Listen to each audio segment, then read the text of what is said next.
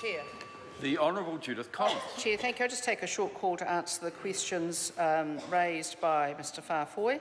The first is what's the most up-to-date figure, because of course I was using the figures of um, a few years back.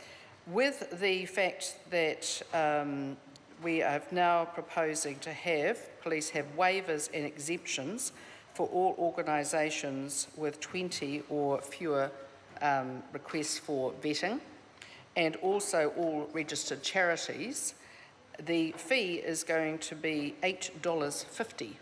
It's still less than two commercially purchased cups of coffee for the entire vetting. Ron